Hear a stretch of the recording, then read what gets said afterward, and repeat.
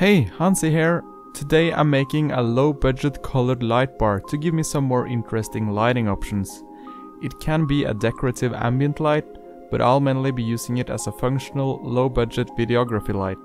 For portability, it has the option to be powered either with a battery or a standard 12 volt power supply.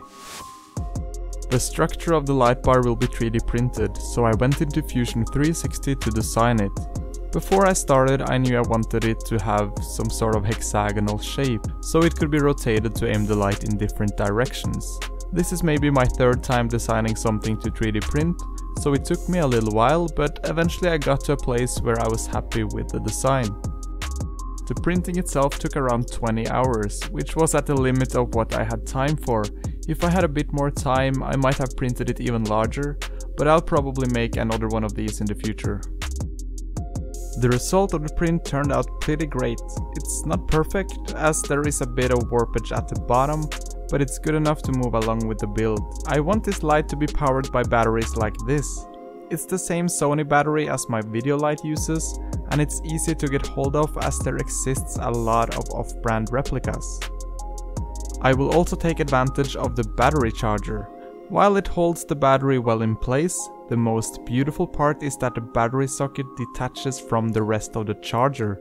This is pretty useful and if you haven't already guessed why, you will know it in a minute. I'm using some digital calipers to measure the height and width of the battery connectors. By combining a picture with the measurements of the battery socket, I can replicate the design in Fusion 360. The idea is to implement the battery connector design on the side of the lamp so the battery can easily be attached to and detached from the lamp structure. The two rectangular holes in the middle makes room for the electrical connections to the battery. I sent it to Cura for slicing and then I started the print. It's being printed standing upright because it makes the connector joint stronger. The print turned out pretty good, but it still needed some filing to clean up the support and I also needed to reduce the size of the joints to make it fit right into the battery socket. Once that was done, it fit really snugly. It's tight enough to not come out on its own and it's really simple to take out. You can even see the electric connection points through the holes I designed. Such a good feeling when things turn out how you want them. Now let's move on. To lead power from the battery to the LED strips I'll be adding later, I'm going to use this thin piece of aluminum. I cut some strips narrow enough to fit through the slits for the battery connector. Before I'm doing anything else, I'm going to solder some wires to these aluminum pads. It is much easier to do it now, before it's attached to the 3D print, where there's a risk of melting everything. When both of them were done, I had to try to figure out which was the positive connector and which was the negative. I could easily have used my voltmeter to figure this out, but I trusted the markings on the front to correspond to the connectors on the back. I even marked the one I thought was the positive one with a red marker. But I tested it off cam and it turns out it was the opposite way, so I guess the moral of the story is to always use a voltmeter. To make the battery connectors touch my aluminum pads, I bent them into V-shapes that would protrude through the surface and hopefully connect with the battery when it got attached. And spoiler alert, it did work. To fix the pads right in place, I just used some regular hot glue, it bonds really well with the 3D printed PLA. And as usual, I ended up making a large gluey mess, but let's not focus on that part. This is a boost converter. With my limited knowledge of electronics, all I know is that it takes a power source with a given voltage as input and increase that voltage on the output. So my battery gives off 8.6 volts, but the LED strips needs it to be increased to 12 volts and that's why I'm using it. By turning this knob here, the voltage on the output is increased. Super simple, kinda like magic. To make sure it all works, I'm using some wires with alligator clips to connect to an LED controller, which again is connected to an LED strip. It seems to be working. You know, when the disco lights are on, we're ready to move along. This is where I measure and cut out all the LED strips that I will be using. I'm going for 12 LEDs on each row, with 5 rows altogether, and that's exactly 1 meter of LED strip. The next part is the tedious part, soldering all the strips together. Since the space is so tight and the strips has to bend in strange ways, I was extra careful not to short anything out.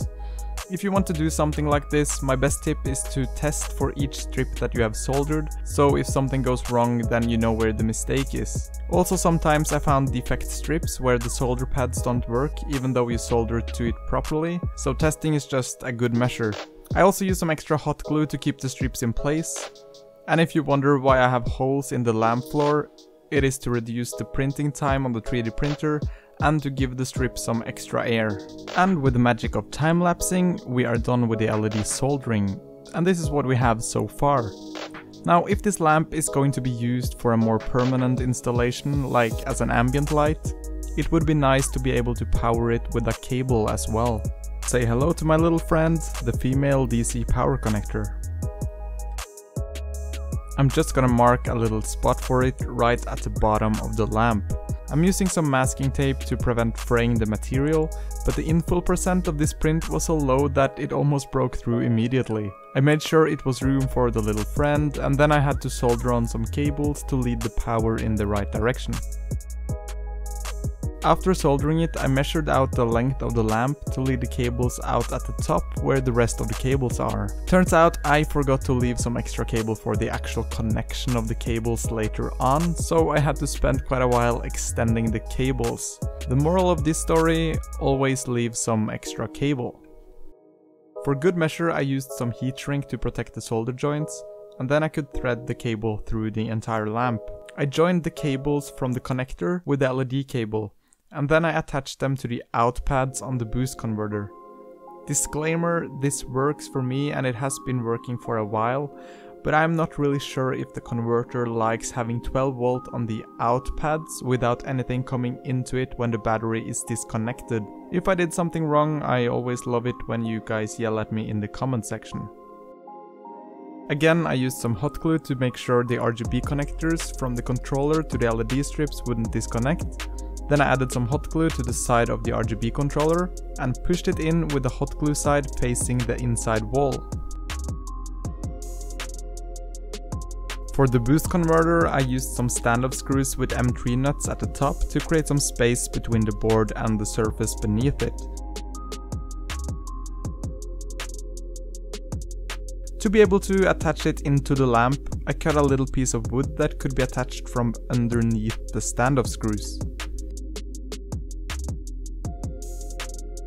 Having that all done, I could paint the underside of the wood with hot glue and then neatly push it into the hollow space of the lamp.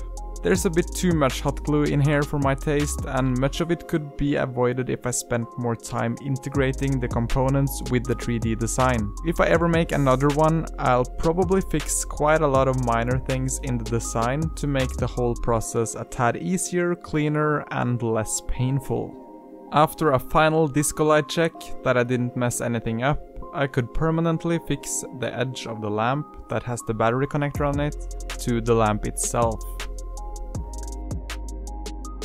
In the next step I will be applying a white carbon fiber sticker surface.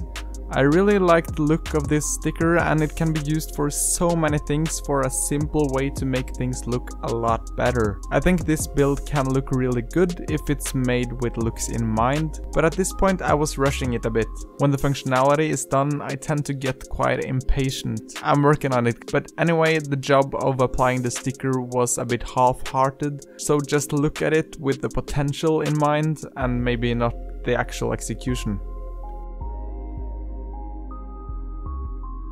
To protect the LEDs from dust and stuff, I'll be adding a front panel of acrylic. As I have the exact measurements of the front from when I made the 3D model, tracing out the proportions on the acrylic was pretty easy. To cut the acrylic I scored it with a knife, over and over, and then I could snap it against the workbench. It's a tedious task, but I find it produces straight and reliable cuts.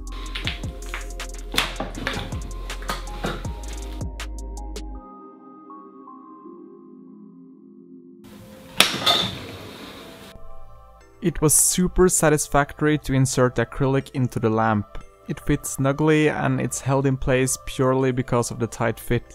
This means that I can switch the acrylic out with a more diffuse one if I ever want to make it look prettier or have a less harsh light. As I said, I will be using this to add some colored lights to video shots, so let's take a look at some of the stuff I've tested it on.